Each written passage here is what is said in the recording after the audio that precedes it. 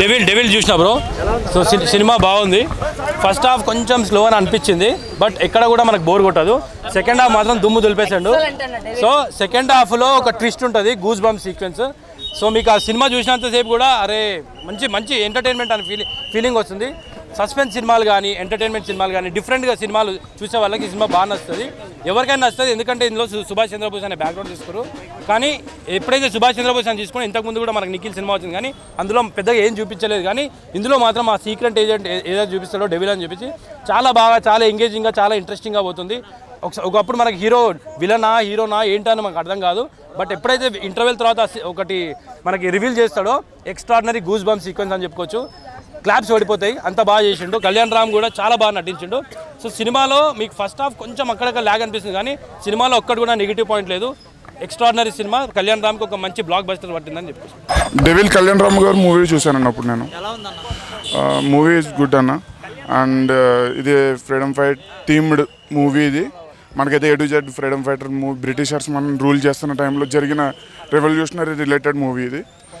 And I really loved it ఇది కళ్యాణ్ రామ్ గారికి hit అయిన అనుకోవచ్చు అన్న మనం అయితే అండ్ ఇది న్యూ ఇయర్లో మంచి స్టార్ట్ అని కూడా అనుకోవచ్చు. ఇది హిట్ అనే చెప్పొచ్చు అన్న and the thing is hero hero oriented movie అన్నది కంప్లీట్గా and the fight scenes are very good ఇది రొటీన్ స్టోరీ కాదన్న. ఇది regular love story type movie అయితే కాదు. ఇది freedom revolutionary type movie and నాకైతే చాలా బాగా నచ్చింది ఈ మూవీ అయితే. రేటింగ్ వచ్చి మనం ఫోర్ పాయింట్ ఫైవ్ ఇచ్చుకోవచ్చాము ఈ ఇయర్కి స్టార్టింగ్ హిట్ కొట్టాడు. ఈ ఇయర్ మొత్తం ఇంకా నందమూరి వంశం హిట్లు పడతానే ఉంటాయి లైన్గా. దీని తర్వాత దేవరా పడుతుంది దాని తర్వాత బాలేబాబు సినిమా పడుతుంది. ఈ ఇయర్ మొత్తం నందమూరి నామ సంవత్సరం కొంతమంది మూవీ యావరేజ్ అంటున్నారు? లేదు లేదు. Movie super hit. Kalyan Ram హిస్టరీలోనే ఇది బ్లాక్ బాస్టర్ హిట్ దీని మించిన హిట్ ఇప్పటి వరకు కొట్టలేదు. ఇదే హైలైట్ హిట్. బాగుంది. ఆ ఇద్దరు కాంబినేషన్ కాంబినేషన్ బాగుంది.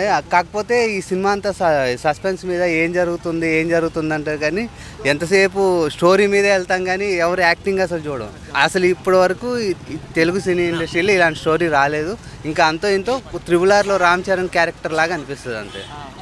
అది ఒక్కటే అనిపిస్తుంది మిగతాది ఎక్కడ ఏమనిపిస్తుంది వాళ్ళు ఫస్ట్ నుంచి అయితే ట్రైలర్ ఎలా అయితే హైప్ చేశారో ట్రైలర్ తగ్గట్టు వాళ్ళు ఇచ్చిన ప్రమోషన్స్ తగ్గట్టు సినిమా అయితే ఫస్ట్ నుంచి లాస్ట్ వరకు ఎలా అంటే నేనైతే బోర్ అయితే ఫీల్ అవ్వలేదు. చాలా బాగా ఎంజాయ్ చేశాను.